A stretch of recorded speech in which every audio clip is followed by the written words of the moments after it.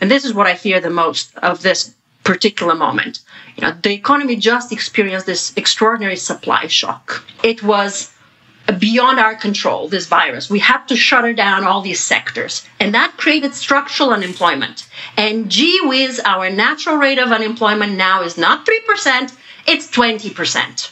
And so there will be some, you know, smart person down the line who will be telling us we cannot really reduce unemployment below 10% because now that's the natural. And you might remember, you know, this is exactly the, what happened with the European Commission when they were forecasting unemployment in Spain, right? 26% NAIRU.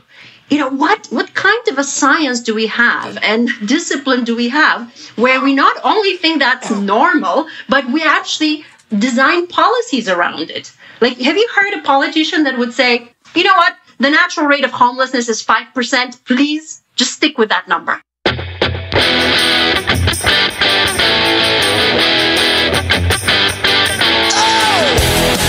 This is the MMT Podcast with Patricia Pino and Christian Reilly. Hi, I'm Christian Reilly, and welcome to the Modern Monetary Theory Podcast. You can find us on Twitter at MMT Podcast, and you can support the show by going to patreon.com slash MMT Podcast.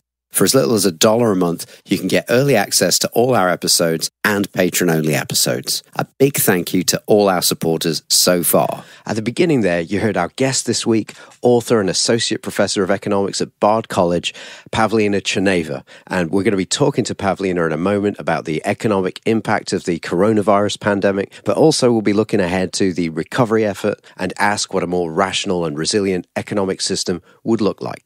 Of course, right now, the drive should be to get money into people's hands as fast as possible as unemployment skyrockets. But I think it's also going to be useful to have a vision of what we should be pushing for longer term.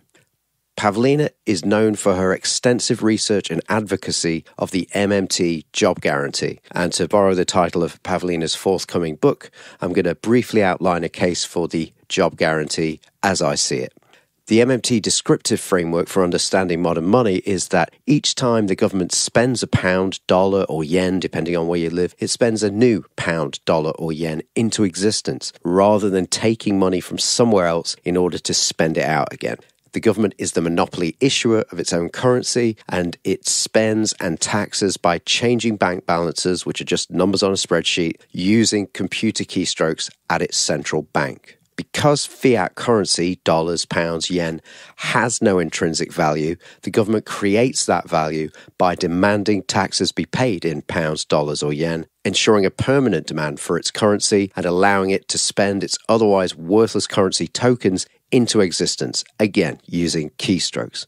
And this allows it to pay for things it needs to provision itself, and this creates government sector jobs. The government, most of the time, spends more than it takes offers in tax, and that money left over, held by us in the private sector, is what we use to transact with each other and create private sector jobs. And this brings us to the job guarantee. In a system set up like this, if there is residual unemployment after the government's done all of its spending and the private sector's done all of its spending, the unemployment that remains is there because there is not enough spending power in the economy to ensure everybody has a job. So the government has either spent too little into the economy or taxed too much out of it. And it's entirely the government's responsibility to change this. It's not the fault of private individuals for, say, not spending more in a recession or the fault of firms for laying off people because their incomes have gone down. Only the government can counter a trend of rising unemployment because it's the only actor in the economy that can spend more than it takes in permanently. It's the only actor in the economy that can act, as they say, counter cyclically. The MMT view is the way to fix this is to put more spending power into the economy. And that means increasing the deficit.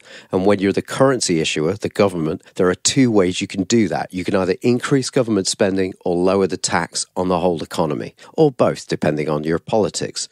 As economist L. Randall Wray says, MMT is consistent with a small government and it's consistent with a big government. But the problem is that it's impossible to target a precise deficit figure in money terms that will ensure full employment but also avoid inflation because that ideal number is a moving target. So governments have historically made the choice to avoid inflation by ensuring unemployment and using sanitized terms like the natural rate of unemployment to justify the hardship and social destruction caused by this choice.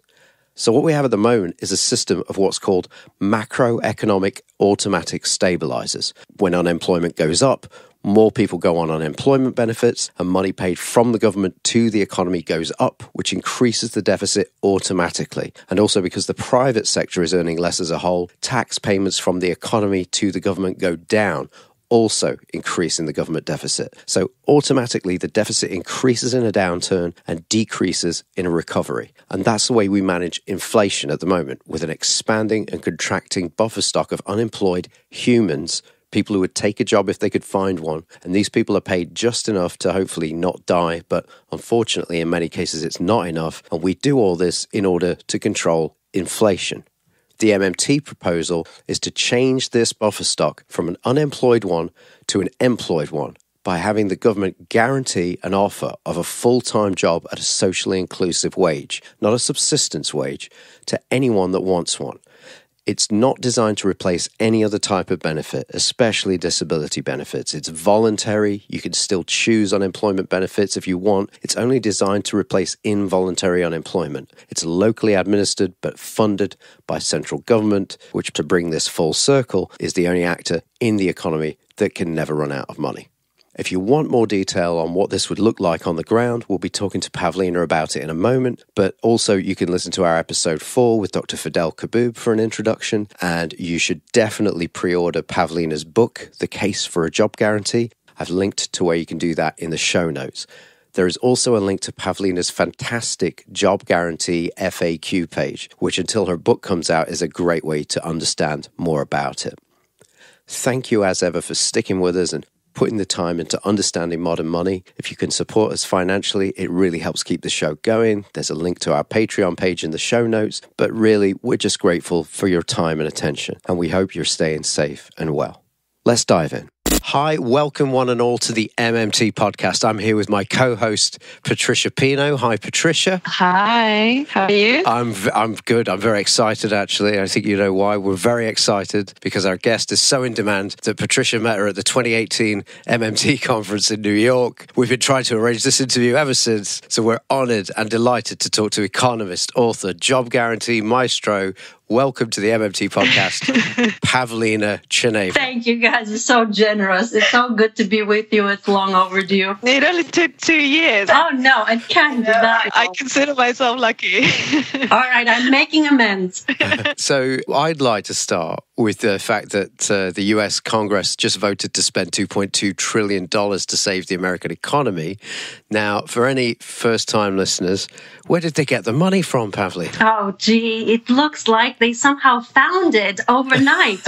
I, I don't think they called any taxpayers, honestly. I don't think they rang up the phones and called foreign borrowers. You know, it's so unfortunate that, you know, we have to see a pandemic or a major crisis to see how government truly spends and how it has all of the funding capacities to fund policy priorities. And, you know, this is what we mean by monetary sovereignty. This is the case for the United States, this is the case for many countries around the world that have their own currency and they have their own institutions that ensure that all government payments are made, like ministries of finance and um, central banks that coordinate as needed to meet all payments, debts, and obligations. And, you know, very unfortunately, in Europe, that in the eurozone in particular you know those institutions have been separated and while here in the US we can muster an enormous package literally overnight and appropriate that expenditure, Europe is still stuck in trying to figure out how to go about this because they don't have monetary sovereignty and the same kind of funding capacity. Just talk about that $2.2 trillion rescue package. Is it enough? And is that even the right question? Well, if I think you're absolutely right. The money is has always been a dishonest question. Where can you find the money? That has always been kind of a political gimmick it has been used to deny certain policies and certain policy priorities. So it's really not a matter of can we find the money? Yes, we can. The question is, what do we spend it on? How shall we think about government policy, public policy? And that has been always the focus of MMT. I think, in a way, this is the irony of our name. It's called modern monetary theory, and everybody thinks it's about money, but we always try to say it's not about the money. The money is the easiest answer. It is about how we spend the money and what we do with it. And so when you look at what we did here in the United States, 2.2 trillion appropriated, which is about 10% of GDP. That's quite extraordinary to do that overnight. And, you know, the government already has another budget which is about 20% of GDP. So we are putting the public sector front and center to respond to this crisis. And that's that is the purpose of the public sector. Now, what is our current thinking? The current thinking is in the United States, unfortunately, there are different models around the world, but in the US is let's just provide some emergency assistance to the unemployed and it's one time short term. Let's provide lots of loans to small businesses and bailouts for big corporations as a sort of a lifeline. So what we're doing is we are reacting to an extraordinary crisis by providing a lifeline and on the assumption that this might be a temporary major shock to the system and the economy will bounce back up once we have managed the virus. I think all of these points are wrong like all of them are incorrect. All of these assumptions are incorrect. Number one it's not going to be you know a quick recovery. Number two whatever we are seeing today is just the tip of the iceberg. We saw some unemployment numbers come out today in the united states truly extraordinary. I mean absolute hemorrhage it's an avalanche it's a catastrophe in the labor market. And that is happening across the globe. You know, just like the unemployment, just like the virus ravages the world, so does the unemployment. And we uh, we need to start thinking uh, with new tools in a different way of how we're going to address this problem. To throw two trillion into the economy with the hope that loans and emergency cash assistance will stop the hemorrhage, I think it is incorrect. We will have to be throwing maybe 10 times as much to carry us through this crisis. So no, I, I would not have done it this way. I would have gone a different way in terms of stabilizing the economy. And one of those would be protecting payrolls. It is far easier to to in a sense to simply pay the wage bill than to have to deal with an enormous unemployment problem once it has developed. And if you just crunch in the numbers, the package that we just passed would have been enough to cover every single wage in the economy and pay the unemployed. In, in, fact, that's in your article, which we'll link to. Your article is called What If We Nationalise Payroll? You write, it's easier to keep people in their jobs than to create jobs once the layoffs have occurred. Can you say why that is? Well, I mean, the title was provocative and it was meant to highlight the fact that we passed a budget that would have been enough to keep people in their jobs for the following three months. And if you pay them 100%, if you pay less than 100%, 75% of what Denmark is doing, then you would keep people in their jobs for longer. So it was just to you know shock the senses to say look why are we dealing with with a with a hemorrhage as opposed to preventing it from from happening now i mean our economy in the united states our labor market is very unequal very precarious a very um, you know, I, I, wouldn't necessarily want to underwrite some of the inequities that we see in the labor market. Lots of people that are um, overpaid, lots of people who are underpaid. We have big proportion in our economy that work in gig jobs and people are self-employed. And so we have we don't have some of the stable contracts and benefits that some european nations have. And so in a way if the government were to pay everybody's wage it will be validating and underwriting some of these processes. So my argument there was that we will be dealing with a major major impact on the labor market and the government will have to respond and it is already responding. And as a consequence, it bears the responsibility for putting strings attached to some of these bailouts, whatever shape and form they may take, for reforming the labor market so it is not as precarious as, and, and unsecure, for addressing the kinds of economic insecurities that people experience on an ongoing basis. You know, we don't provide sick leave in the United States. We don't have universal health care coverage. Uh, once you lose your job, you may lose, if you're lucky to have health insurance, you may lose it from unemployment. And so it was a call to rethinking what we want the government to do how to do it and how do we want to emerge out of this moment of crisis to provide better employment, better uh, conditions, and um, a more resilient economy. Yeah. And as you know, in the, in the UK, our government has effectively underwritten 80% of the wages of most employees. Uh, for people who are above the minimum wage, that might be all right. For people who are already at very low wages, that might be the thing that tips them over the edge and they, you know, you start seeing mass defaults anyway. But my question was about what would you have the government request in exchange for this? Would you, for example, have the government request certain projects to be done from these companies or to use their resources in a way in exchange for the government guaranteeing the wages of all their employees? Or would you make it in, unconditional? No, I will extract uh, some big guarantees from the private firms if they are getting the lifeline. Without the government sector, they are not viable. These are catastrophic and uninsurable events. Firms cannot prepare for them, and we clearly workers cannot prepare for them. So the government needs to step in periodically every 10 years to rescue an economy from its from its various collapses and fragilities. So here's how I think about this problem today. We have very immediate concerns, and they deal with the wholesale decimation of jobs as a consequence of the required social distancing. So we need to do something about that. And what I would do is protect those jobs and by doing so, requiring firms to do certain basic things like pay living wages or increase the minimum wage, pay guaranteed benefits. They come with strings attached. Sick leave has to be part of the package.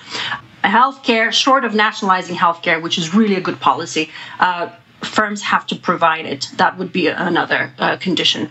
Uh, right to bargain, negotiate a, a, series of protections for workers that come with this lifeline to firms. At the same time, we already have seen many millions of people lose their jobs in a blink of an eye, and we need to do something for them.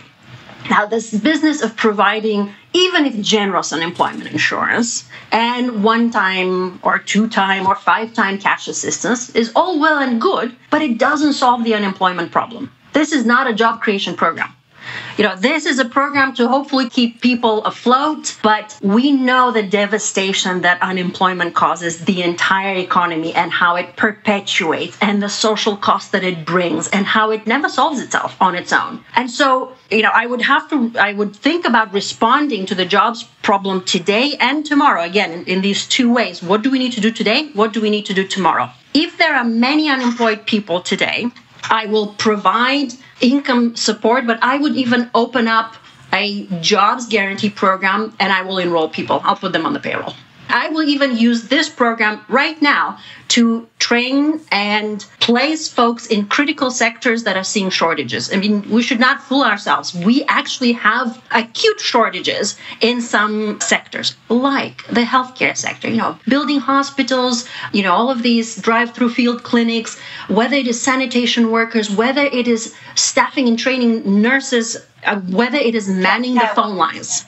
You know, picking up the phone and addressing the 911 or emergency calls that we have in the United States. There's just so much that can be done. You know, my kids' teachers are scrambling, educating their own kids and running their own online classes. We can certainly do a lot more teacher assistants to run online classes. There is stuff to be done. We just don't think about this, and it's so much harder to do it in the midst of a crisis than if we had been prepared. Mm-hmm. But you know, clearly you can't put everybody at risk. You know, you need to do this with the clear safety provisions and requirements, but we realize that we need to do the work and there are people who can do it. And so we just have to find mobilization, wartime kind of effort to put those resources to work. A lot of other people will not uh, will not be able to work and um, you know there are still you know maybe 10 15 million people unemployed we can employ them very quickly into this standby policy that guarantees them a job when the time comes. And when we are ready to resume, if at all we can resume normal economic activity. And when that time comes, we will be we will have inherited a very different economy. Some sectors probably would have been decimated. You know, think of uh, concert halls, theaters, right? Think of uh, sports games. I mean, will we be having these mass congregations uh, over the next year if we're still attempting to deal with the virus? I think that it's very reasonable to expect that many sectors will be operating at a lower capacity precisely because we've got to maintain some sort of social distancing measures even past the most acute period of the pandemic. And if that is happening, what that means is that certain sectors are releasing resources. They are releasing equipment, workers, they will be excess capacity and it will be again incumbent upon the public sector to rethink that process of restructuring you know how do we transfer these labor resources from one place to another and it's not like there's a shortage of things to do. You know as we often say you know in the mmt community you know we've got big problems we have not attended to for a very long time. From infrastructure to transitioning to a green economy to on and on now the health healthcare sector we're finding out how sorely under provision it is. So we've got things to do but we have to start planning. So how do you lay out the case for a job guarantee? Oh i think it's a good place to start you know with this notion that we have become so accustomed with the idea to the idea that unemployment is unavoidable. It's unfortunate, it's too bad, but there's nothing we can do about it. And most people don't realize that the unemployed is still the charge of the public sector. You know, they're still, you know, part of the responsibility for the unemployed is the public sector, not only because our monetary system itself creates unemployment in the way you described. It's a monetary production economy. You have to pay fees. Everything is that that you know we need to access for our well-being is through the monetary system. And that monetary system is underwritten by the public sector and its currency and by a banking system that is uh, managing this currency if you will. It, ultimately the buck stops with the government and the sovereign currency issuer and providing it in a way that everyone can access it so that they can provide for their basic necessities. So it's not just the provision of the income alone, but also uh, the manner in which we can access the real resources that will provide for our well-being. So we're we're failing on both counts. You know, we're not providing the income, and we're certainly, even when we throw a little pittance of unemployment insurance on, on the unemployed, uh, we are still not thinking about, hang on a second, have we really restructured the economy to, to provision well for everyone? So, number one, the problem of unemployment is unavoidable is this very medieval notion to me you know, I'm thinking that, you know, there will be a time, I hope that it comes sooner than later, where we will look at this paradigm with such, like, you know, shock. Just like 100 years ago, you know, women didn't have the right to vote. And for us now, that is totally unacceptable. But if you read all the all of the commercials at the time. Oh, gee, we can't give women the right to vote. Imagine, you know, the world will fall apart if that happens. I, I They'll start wearing trousers. exactly. You know, all these decisions. I, am keeping quiet as the uh, as the token man in the episode. But but you're right. I mean, like those were they were convention. There was a conventional wisdom at that time that found it preposterous to give women the right to vote. And it was similar for, for child labor. And then we have developed and they have, we have become accustomed to certain rights. And, you know, one of them you can think the right to education. You know, we no longer provide it through parochial schools or through charity, etc. We, we decided that the public sector has this responsibility to guarantee access to education. And in the US, we do it very poorly. But what I'm hoping that we will arrive to this understanding is that there is nothing natural about unemployment and nothing unavoidable about it. And in this particular monetary system, it is incumbent on us and it's the responsibility of the public sector to address it. The second point that I will say is that the public sector is already paying for unemployment. And unemployment, if economists were to do their due diligence and if they were to account for all of the social costs of unemployment and look to our colleagues from the cognitive sciences and look at their research, then you know we will actually even if you do your traditional cost benefit analysis you would see that it's far more beneficial to pay for decent family sustaining jobs with family sustaining wages to create something good than to pay for the neglect and the devastation that unemployment causes, not just on the unemployed, but on their families, on their children, on the communities. There are these negative social multipliers, which we already pay for. So, any way you cut it, it is far better bang for the buck, let's put it this way. And the third problem that you mentioned was this notion of the natural rate that is used as a policy tool. And that to me is one of the most egregious parts of our modern economy that we've got central bankers around the world that have this concept of what is the appropriate the correct number of people without jobs and livelihoods. And then what happens then is if we think that that number is too great, the Federal Reserve and the central banks attempt to stimulate economic growth, and whether they're actually even able to do this is a whole other story. But they they try to relax, you know, to stimulate the economy. And once they hit that magical number, they step on the brakes, and then you start getting economists who would say, "Well, hang on a second. And this is what I fear the most of this particular moment.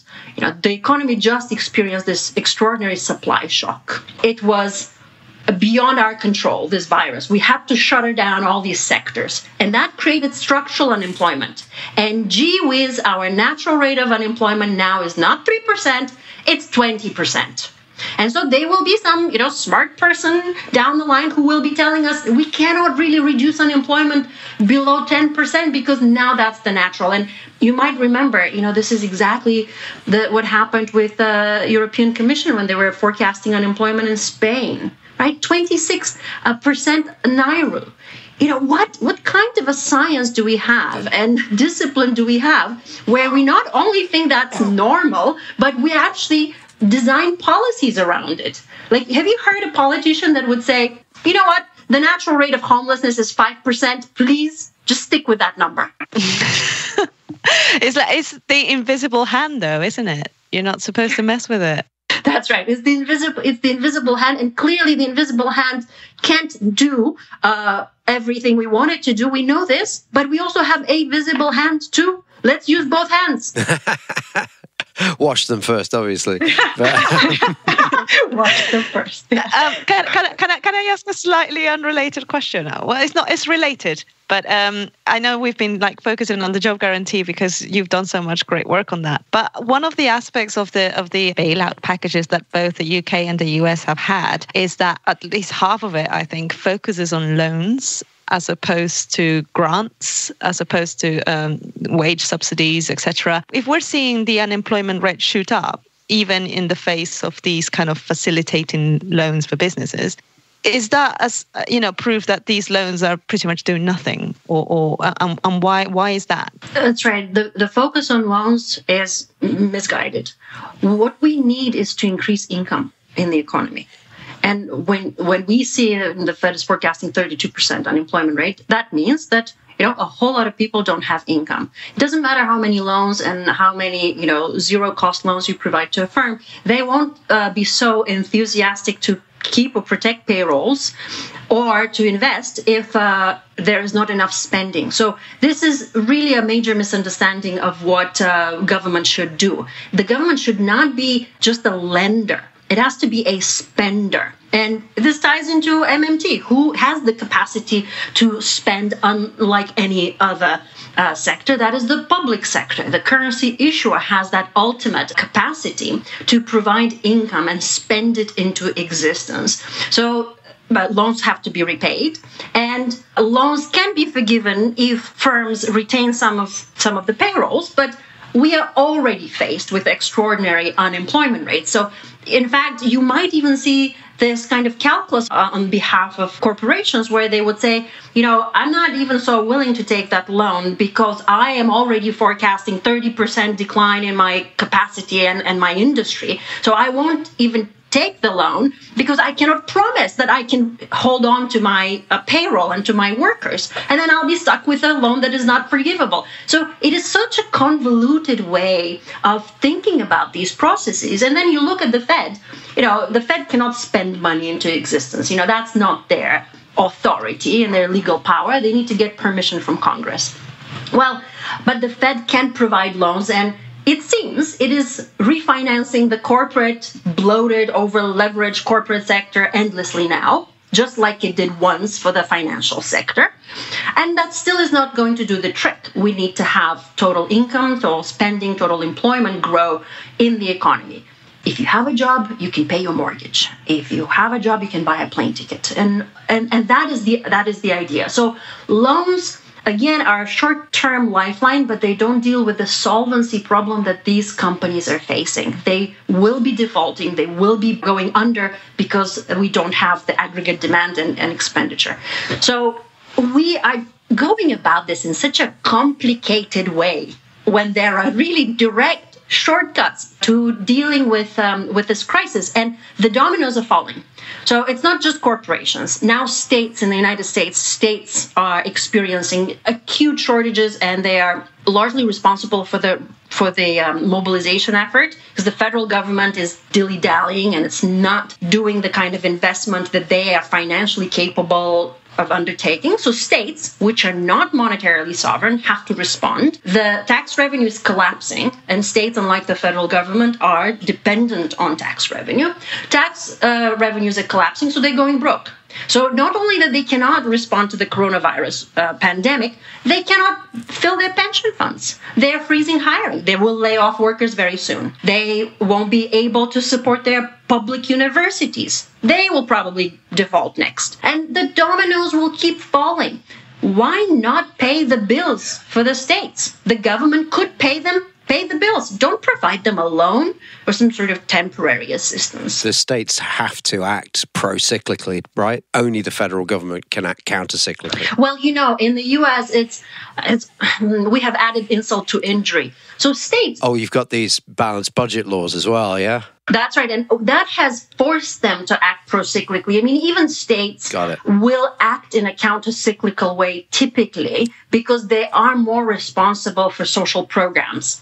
And that will increase the deficit in, a, in your garden variety recession and tax revenues are going to shrink and you're going to run deficit but but states have to finance themselves through borrowing not like the federal government still that will be some sort of counter-cyclical support and then the federal government often provide some grants in aid to, to help this counter-cyclical response. But since we passed the balanced budget amendments, we have then forced them to cut in the middle of a recession.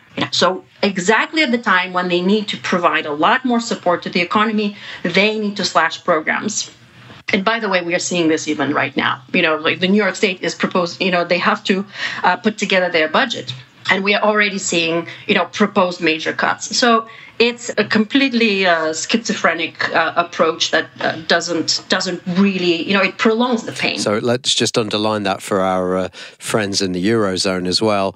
Uh, that the, you know the U.S. states are in the position of the eurozone states in that uh, they don't issue the currency. In the United States of America, the federal government issues the currency, and the, the states are currency users. And in the eurozone, the ECB is the currency issuer, I guess, and the states themselves, even though they are countries with some degree of sovereignty, their options are limited because of the Maastricht limit. What is it, 3%, Patricia? Well, yeah, it is 3%. But I was going to say yeah. that the Eurozone countries are in an even worse position than than the oh, states. Yeah, yeah. Um, they don't yeah. seem to agree how they're going to share the debt burden. But also, I saw a proposal today from the European Commission saying that member states could now get loans from the government, from, from the EU budget, basically, the EU budget, which has already been allocated. So there isn't much room to lend. But it seemed like a, a way of basically just going around the fact that the ECB should just fund these bonds. Did you hear about this? I mean, the euro, the, the eurozone has been fragile from day one by virtue of its design. I am uh, truly just horrified to see what will come out of this. We were not able to do well with one crisis, um, that the great financial crisis in Europe, and there's this added problem that the eurozone is experiencing. All governments around the world have been under this austerity assault, under the false premise that we can't pay. Okay? And so we are all unprepared to address this crisis or whatever next one that comes. But then we have the Eurozone that has been designed, the architecture is on this austerity on steroids. And so we have put the member nations in the position of maybe US states, but they don't have a federal government to provide the grants in aid and the kind of assistance that then we can. Yes, they are not currency issuers anymore, but they also are not tethered or attached to some sort of central spending authority for the Eurozone as a whole. Now, the only currency issuer in this instance is the European Central Bank. But they are not, you know, the, the body that will design the policies that will be necessary to pull us out of the recovery and then, you know, to spend, they can finance these proposals for Euro bonds, for green bonds, if you recall, before the pandemic and all that. They can certainly provide financing. But we, we also need a body that does the mobilization effort, the, does the employment, the safety net for the Eurozone as a whole. And so, you know, when I see what is happening to the periphery countries right now, it is so extraordinary because the pain is amplified by this very deliberate unwillingness to support the public purpose. And, and that's a travesty. So I think I heard a, a, talk by you at the 2010 Fiscal Sustainability Conference, and you were talking about up until now, economists have been talking about targeting a demand gap which is a really blunt measure, and, and that's why it always fails. And and you said the better way to go about this is targeting what you called a demand labor gap. Uh, am I right? Can you talk about that? that? That is that is right. Yeah, thank you for bringing up that point because that I feel is lost even on some of our progressive economists. Right. You know, because there is this notion of progressive policy that is rooted in Keynesian tradition, but not a true representation of Keynes's policy. And we have this idea that as long as we just pour enough stimulus into the economy, you know, that money is going to find its way in the right places, in the right sectors, and they will boost investment. And that investment will boost employment. And so the focus is always on closing what is considered to be some hypothetical output gap, whatever the productive capacity in the economy is. And that changes, you know, with technological advancement, with changes in the labor force. I mean, that that's a moving target. But we're constantly trying to close that output gap between whatever that potential is and whatever the actual is. And there are different ways of doing this. You know, more Keynesian policies would be, you know, deficit spend and you know pump a lot of uh, a lot of spending into the economy. Others, how did we do it in the great financial crisis? Uh, stabilize the banking sector, provide enough liquidity and purchase enough of those toxic financial assets. So, if you stabilize the credit system, that will stabilize financing for investment, that will stabilize investment, and investment will stabilize employment. And so, employment is always, always at the end of our focus and of our analysis. We're trying to close some sort of output gap through either stabilizing finance or some generalized deficit spending. Now we have to start thinking concretely. How about if we stabilized employment, the labor gap? And the problem ultimately is that we have mass unemployment that develops and it takes forever for that to shrink. What if we were to just employ the unemployed? And then we don't have to endure these jobless recoveries. We don't have to endure these protracted recessions. As I said, people who have income can pay their bills. That's your bubble up stabilization of the of finance, right? Mortgages don't have to default, if you will. And it seems to be a much more direct way. And even on the face of it, it's kind of the shortest distance between the objective and the tool. You have primary direct employment effects. They ripple through the community other folks start employing restaurants, shops, movie theaters, you name it, and you have a bubble up employment growth, employment led growth. I think that was the true Keynesian message anyway. Keynes wanted to create employment on the spot where the jobless were. And uh, I don't know about you, Christian, but don't you feel like this notion that the government can and should create jobs is taboo. Yeah, yeah. It's like you do you try everything yeah. except that. Yeah. And I don't know why. It's such a simple solution. Can you tell us like they have an allergy to this? If it, I'm sorry if it's been said before, but somebody did this tweet about trickle down economics is like trying to fill your own bathtub by going to the apartment above, filling their bathtub letting it overflow and hope that that water comes into your bathtub. That's brilliant. Uh, yes, I like it. Look, yeah. oh, I, I came across this great quote um, I was reading the uh, biography of uh, Frances Perkins, who was this truly, you know, very important figure during the New Deal in the United States. She worked with Eleanor Roosevelt, and those two women were so responsible for just delivering to us the modern welfare state, from minimum wages to 40-hour working week to Social Security, you name it. When she was appointed Secretary of Labor, I guess they either forgot about her or she was the last one to go through the ceremony, and she said you know, labor always comes last. And, and that stayed with me because, you know, that's what she faced and in a time of most acute crisis when precisely at the time when labor was actually for the first time coming first and even then it took us a while to arrive at some of these fundamental reforms that we had to put in place to protect working families. And then, of course, we've gone over in the post war era through this phase of, of forgetting those responsibilities of the government sector, this you know, uh, half a century assault on governments through austerity, uh, the Reagan, of course, and Thatcher revolution.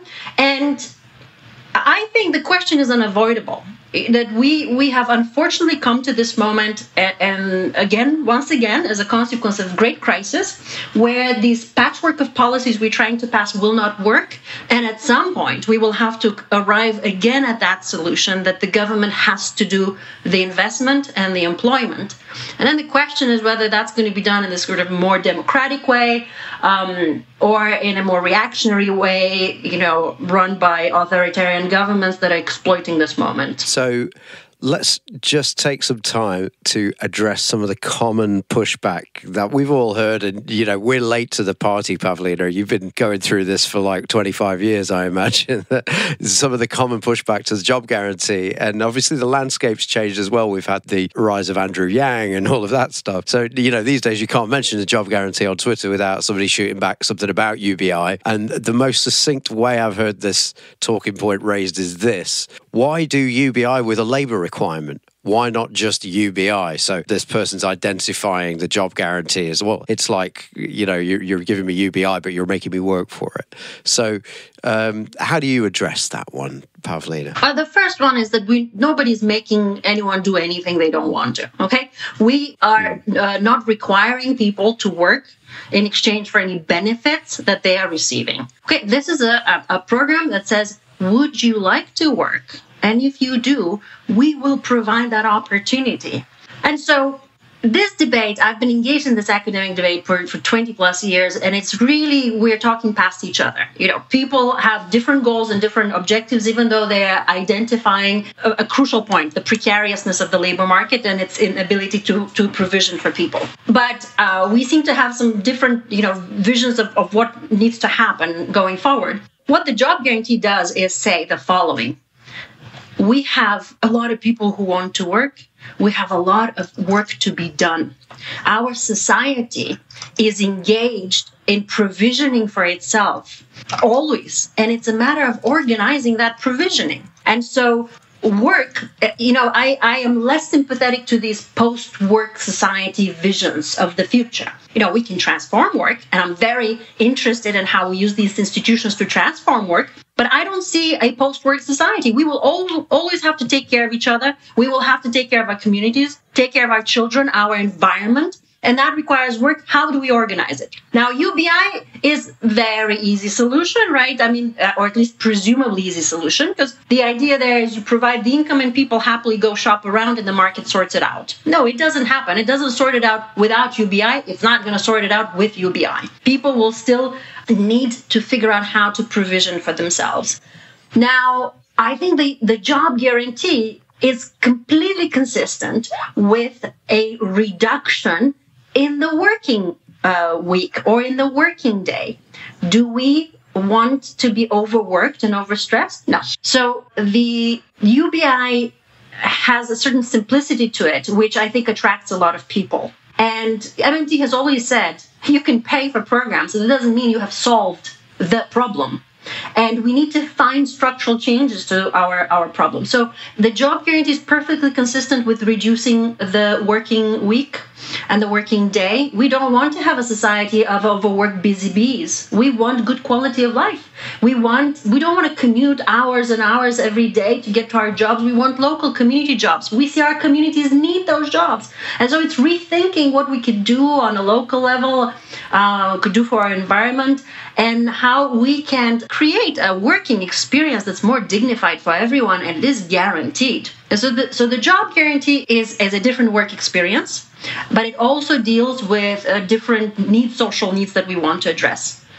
Do we want everyone to work? Absolutely not. You know, I mean, no job guarantee advocate in their right mind will be advocating 100% employment. We know that there is care work that has to be done. We know that there are folks that need to be provided for. They cannot uh, work, should not work. And we do not want to have this society of overworked and stressed out people. So, basic income has always been part of the package. So I think that this has been a very unproductive discussion overall. Uh, and I have many other criticisms of the UBI proposal on its own. I'm sure you've covered on this program in terms of just you know how how um, what are the macroeconomic effects of, of providing a large scale UBI. You know, the job guarantee has these various ways in which it stabilizes an economy in which UBI does not. And so we are talking past each other, and uh, the bottom line is there's the work to be done, and we just need mm. to find a way to do it. So other criticisms of the job guarantee focus a lot on uh, on skills specifically and i often find two sides. So one side that says you know you can't just put a person in a job they need training and that takes ages and you you know they can't just start straight away. It cannot be as flexible as you want it to be. And other people say you know how can a, a job guarantee worker develop new skills and become upwardly mobile if he or she is stuck in a job guarantee work you know which is you know presumed to be menial and, and, and low skill in inverted commas. What would you say to those people? Well, the first thing is that this pandemic is, is showing us that this menial work is one of the most essential work we, we need. You know, all those folks that, you know, we pejoratively say are unskilled workers, you know, the truck drivers that are delivering our food and our packages and that are working the, the lines at the grocery stores. I mean, I, we got to put that to rest once and for all. People don't have to be computer scientists or, you know, coders for us to value their work. And to give them dignified work. And you see these anecdotal reports where people say, I've never felt so valued, and as I do now, I understand how critical, essential my work is. We don't pay them well. We underpay them. So that is, I, you know, I hope um, the crisis reveals how, how wrongheaded that criticism is. The second thing is that we seem to be always putting the emphasis on the project and on the job, quote unquote, rather than the person. Like when you start thinking about the person and not this hypothetical job, then your thinking changes in terms of what is required. It is a bit of a false dichotomy because often you will hear this argument well, if the work needs to be done, then uh, not everyone can do it. But if you want to do jobs, create jobs for everybody, then you have to do unnecessary work and or just make work. I think that's a false dichotomy. That is definitely a, a wrong analytical angle. Uh, we have lots of things that we can do that, once again, we're not traditionally called to be high skilled, that uh, folks can do. You know, I come across a lot of people who um, uh, have disabilities, and they tell me how difficult it is to find jobs in the private sector. And they say, if only there was like a job guarantee where, like, you know, people can can understand that I cannot be standing up on my feet for eight hours a day. I can sit down. I have computer skills. I have something to offer. Then I would love, you know, that kind of program. So that's why I say it's important, and that's what the job guarantee does. It creates jobs with with the mind with the person in mind rather than some hypothetical job that uh, that has to be staffed. And we uh, we can match the two. Here's another one. I hear this from people who aren't averse to a job guarantee. When the economy picks up again the private sector starts hiring people out of the pool of job guarantee workers which is a more liquid buffer stock than unemployed a pool of unemployed workers. Surely some of the job guarantee jobs are going to end up having to get terminated. And at that point it'll be the case that either the jobs weren't quote unquote necessary and the community does fine without them being done, or it turns out they were jobs that the community benefited from having done, and now there's nobody to do them. So, as a job guarantee advocate, how could we address that concern? Yeah. The first thing to say is that every sector in the economy deals with labor flows. People come and go from every sector. This is not just a job guarantee problem. The second thing to say is that if we find, I mean, if we find that some of these newly created jobs are um, so well valued and they need to be a permanent part of the public sector, then we change the rules of the game. We staff it permanently. We entice and encourage people to stay there. I mean, my ideal world, the job guarantee would be rather small. In my ideal world, I will staff every public sector um, area and uh, agency and service with the adequate staff to do their job on ongoing basis.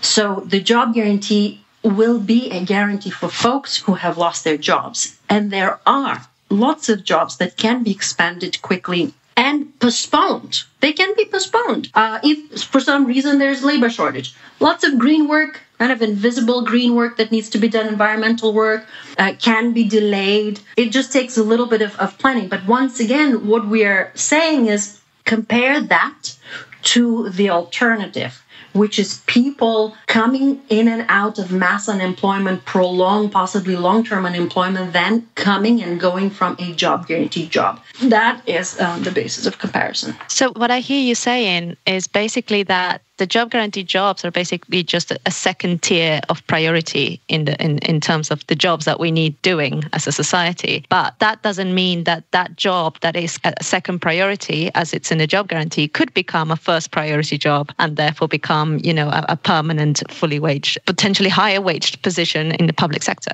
Well I, I would say i mean i wouldn't say like first or second. I would say it's an additional structure that we're putting in place. So there are always people in unemployment. There are millions of people on an ongoing basis that are in employment. So I imagine a structure and a system and an infrastructure that will always employ people. But they will be a component of those folks who will come and go out of the job guarantee program, just as they do with unemployment and just as they do with other sectors, right? The private sector constantly has to find itself shrinking or later expanding. So, you know, we can do the same with the public sector. Now, the second thing is that once you put a, a, job guarantee in place, actually it stabilizes the overall economy. So those fluctuations should not be expected to be so large because we don't use unemployment as a stabilizer. If a person has a stable job, it's a whole different pattern of spending and consumption than if they don't know when they can find one.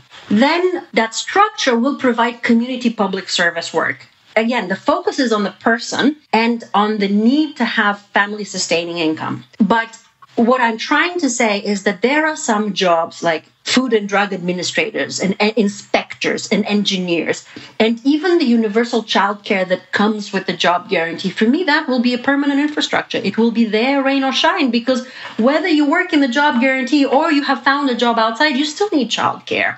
And so for me that will be pro- professionalized. It will be provisioned. It will be ongoing uh, but the other projects where you might find suddenly the private sector, the economy humming along and really demanding a lot more workers and starting to uh, look for well trained folks, they can find them now from the job guarantee rather than the pool of unemployed, which they ignore anyway. You know, firms don't like to hire people who are unemployed. And so nothing changes in fundamental ways except that we have now put a structure that can provide some meaningful community work and uh, as opposed to no work at all with meaningful income for those who need it. Okay, great. So in your article, you write the article is called What If We Nationalize Payroll? In that article, you write only big government big public investments, big public employment programs will ensure a quick bounce back rather than another protracted jobless recovery. Now, there will always be people who hear words like that and they get worried about inflation. Well, I mean, we could draw some parameters here in terms of the inflation analysis.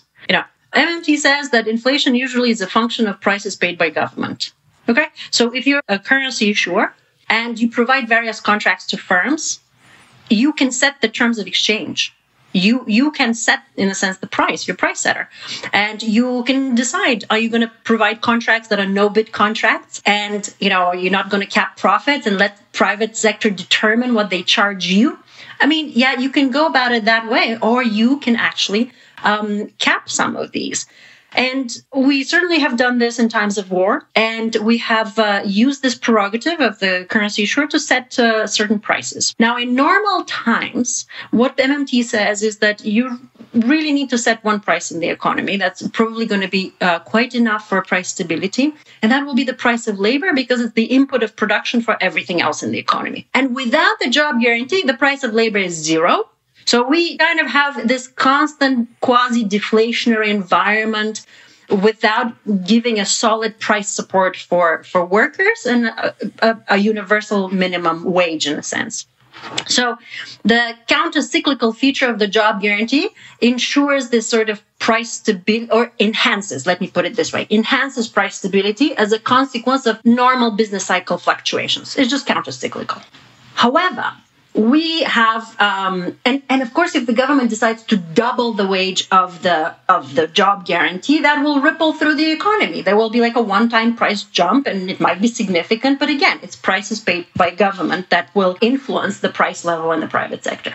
Now we have other price setters in the economy. Uh, you know, we also have big monopoly power. We have industries that enjoy endless subsidies by the government, you know, and their their activities are underwritten. And in the United States, those are the healthcare industry. And you know, some of the the cost increases that people are experiencing have to do far more with monopoly power.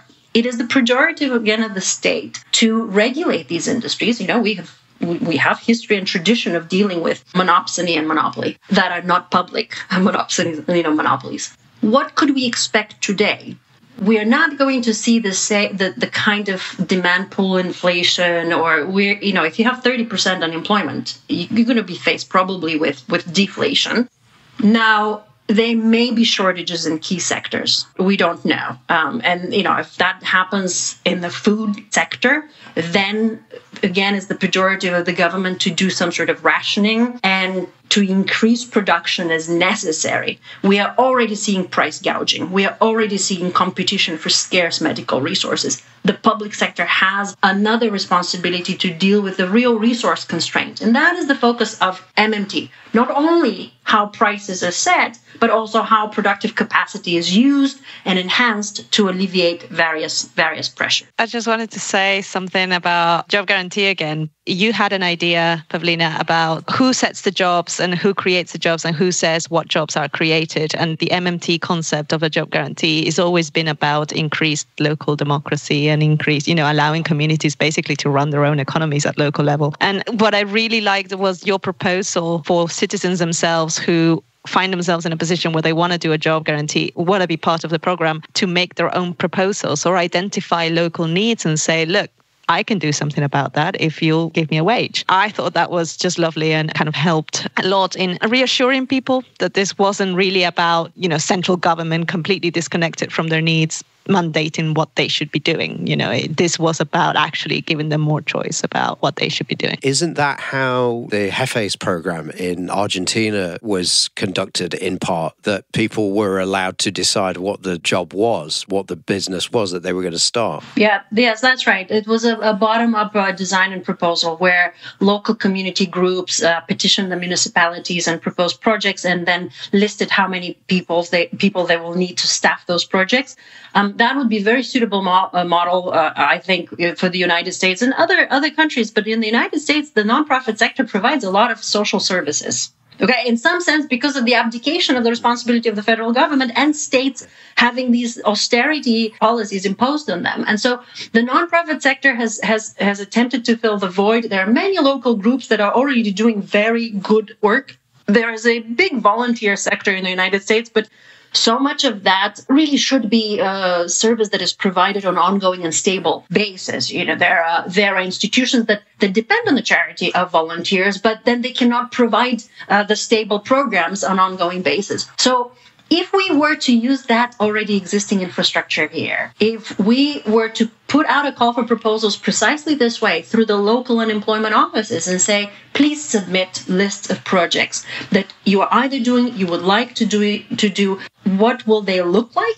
and how many people can they employ. And one of the public purpose of, of this program will be to ensure that they're, um, they're tapping in the unemployment pool But ultimately, the buck has to stop with the federal government. If there are not enough proposals to provide jobs for all, it does have to be a responsibility of the Department of Labor and perhaps the state offices uh, of Department of Labor to ensure that there are enough projects. But as you said, the federal government doesn't really know very well the needs of this, the communities. So doing it from the bottom up, using these various models around the world of participatory budgeting and organization and using cooperative arrangements, there are many ways we can go about this. But I guess the bottom line is we don't have to reinvent the wheel. There's lots of work on the ground. We just need to empower them and just scale it up. Great. So, just to close things out, then, trying to learn lessons from the past as well. In the aftermath of the 2008 global financial crisis, we had the Occupy movement, an anti austerity movement, the response we heard from a lot of politicians and pundits to those movements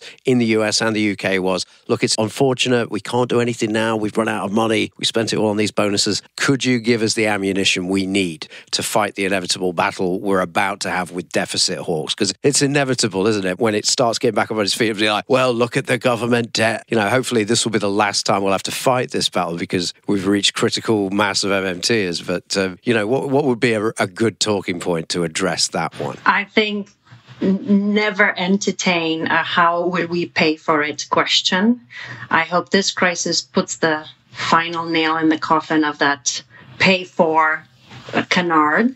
That um, before the New Deal, there were decades of organizing and groups that were building coalitions. So whatever work we, we have been doing so far, it has to it has to move forward every change happens from the ground up. And even though we have governments that are not so amenable and open to progressive changes, the way I see this moment is as this giant ship that is going into the iceberg, right? And it is it can't stop you know and and we're seeing this happening in slow motion and we are still adapting to like what would be the fallout of this moment and we are still too slow to figure out what will be necessary and we will um, come to a realization and hopefully sooner because we've lived through depressions before and through major calamities before. And hopefully we'll come to the realization sooner that we must demand for government to do far more and that we want to come out of this moment with a different sort of economy one that is far more stable that provides basic economic rights to folks and that will will have to be restructured, no doubt. You know, we could try to keep throwing all these policies at the wall and see what sticks, but at some point we will have to do some very heavy thinking, you know, very difficult thinking about specific structural reforms. And the sooner that we come to this moment, the better, because we clearly have the financial resources. It's how we mobilize the real resources that is it is the question that MMT have been asking, and I think we have arrived to it. And I hope that that's the next the, the final, next conversation. Final battle. Great. Well, with that, that was a, a, great way to end. Thank you so much for your time, Pavlina, and thank you for all the work that you've done over the years. You know, we're all avid readers and listeners and watchers of it, uh, so thank you for that. Thank you for all of your work.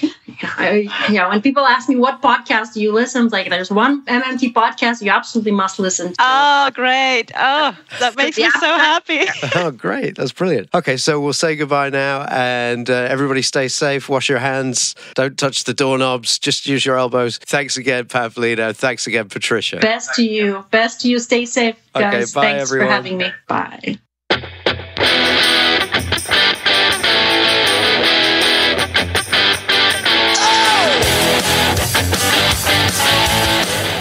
That was the MMT podcast with Patricia Pino and Christian Reilly. Don't forget, you can support the show through Patreon starting at a dollar a month and get early access to all our episodes and patron-only episodes. You can do that by going to patreon.com slash MMT podcast. You can also find me on Twitter at MMT podcast and you can find Patricia on Twitter at Patricia N. Pino and you can email us at mmtpodcast at outlook.com. Editing and post production was by Damien Coldwell. Thanks for listening.